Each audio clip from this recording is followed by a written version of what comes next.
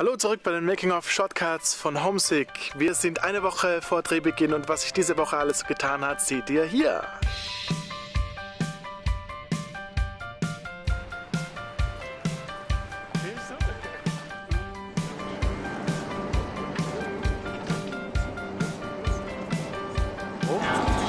Wir sind im Auto jetzt und wir gehen zu einem Rumpelbazar, um Möbels, DVDs, Bücher zu finden, weil Jakob hat uns gesagt, dass der Szenenbild ein bisschen leer aussieht. Ich habe auch einen, ähm, Noten für Violoncello gefunden. Mozart. Sie spielt nicht nur Bach, sie spielt Mozart. Schön alt, vergilbt.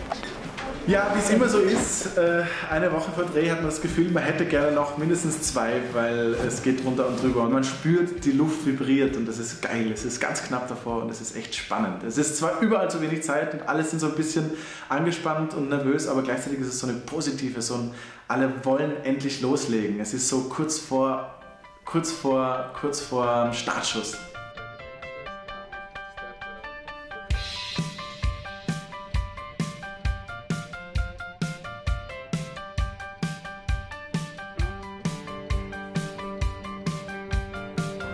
Der Thaddeus und ich machen heute die große Besorgungstour. Alle möglichen Requisiten und sonstige Sachen, die noch für den Dreh gebraucht werden, der endlich Dienstag beginnt, werden heute geholt und morgen nochmal. Und dann können wir Dienstag endlich starten.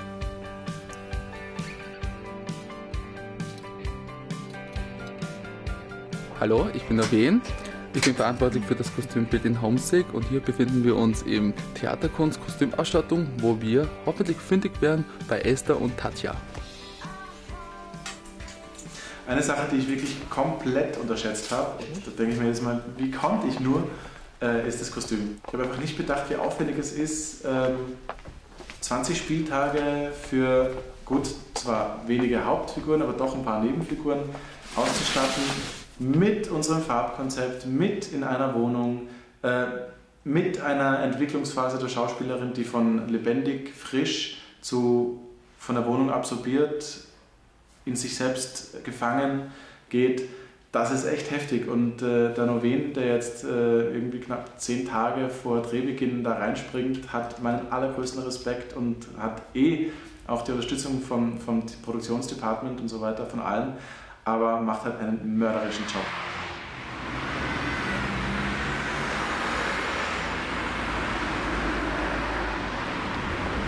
Wir gehen jetzt zu unserem kleinen Aufenthaltsraum. Irgendwo in den Hinterhöfen vom Mehringsamt. Das ist uns eine kleine Remise aufgetan, wo wir unser Produktionsbüro einrichten werden, und essen werden und kostümieren uns werden und eigentlich unser Leben außerhalb des Sets. Es ist jetzt alles noch sehr leer und verlassen, aber in Kürze schon wird das ziemlich vollgestellt und ziemlich äh, betriebsam hier drin sein. Das ist die erste Klappe, die für Homesick geschlagen wird für den heutigen ersten Portretag am Sonntag. Es ist soweit.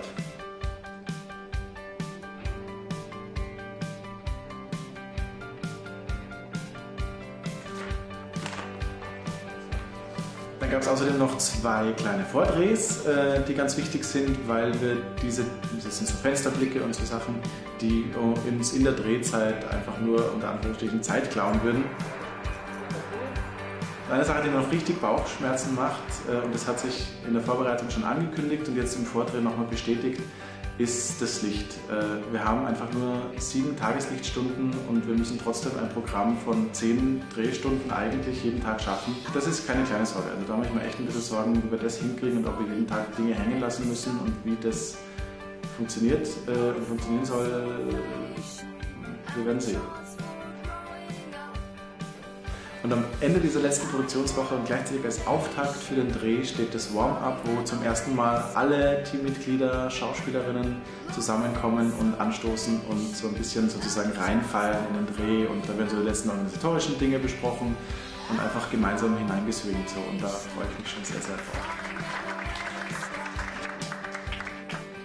Ja, das war also die letzte Woche vor Drehbeginn. Morgen heißt es für uns drehen und wir sind am Set und was da so alles passiert, das seht ihr nächste Woche. Tschüss.